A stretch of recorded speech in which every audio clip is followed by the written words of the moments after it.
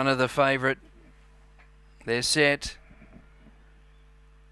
Racing, Reedy's runner dwelt, flying out wise Ricardo, joined by Paganoni out wide. Three lengths away, third is Alan Mike, dropping back Reedy's runner, and then BD and Dinah Orenthal. Leader wise Ricardo, joined on the outside by Paganoni, who now takes the lead. Three lengths away, third Alan Mike. Reedy's runner's impossible here.